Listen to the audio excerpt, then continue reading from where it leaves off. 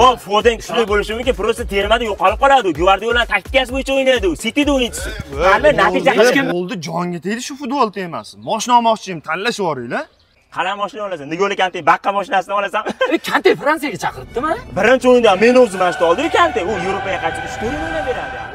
To'g'ri qildi Chelsea Pochettino haydadi. Yangi olib kelgan murabbiy chiqdi. Ya, yaxshi o'yinchilar olib keldi, to'g'ri, to'g'ri aytayapsiz. Michael Oliseni ham olib kelsa zo'r bo'ladi. gol bo'ldi qilmaymi o qiz qarashga chiroyligina chiroyli Futbolni Suarez qiziga o'xshar ekanmi? Delfina Suarezmi? E, o'sha qizni Benzema yaxshi ko'radi. E, Benzema yaxshi o'ynayapti. E, Yevropaga qaytish kerak edi, Arsenalga o'tsa yaxshi ochilib ketadi. Bo'lishi mumkin. Qara, mashhur lekin insigne futbolchi kim hozir? Coutinho. Yo, Pol Pogba. I ha, to'g'ri, to'g'ri, yangilik zo'ri bor eshitinglaring UBS universitetiga qabul boshlanibdi 20 ta bakalavr 3 ta magistratura 5 ta doktorantura yo'nalishlari bor ekan chetga topshiraylik kontrakt ham eng arzon ekan kontrakt degani Al Nasr bilan Ronaldo kontrakt tugasa, Bayer bilan kontrakt tuzishi mumkin ekan, Yo, bilasizmi? Bayerga o'tsa lekin zaxirada qolib ketdi. Patrik Shik yaxshi o'ynayapti-da.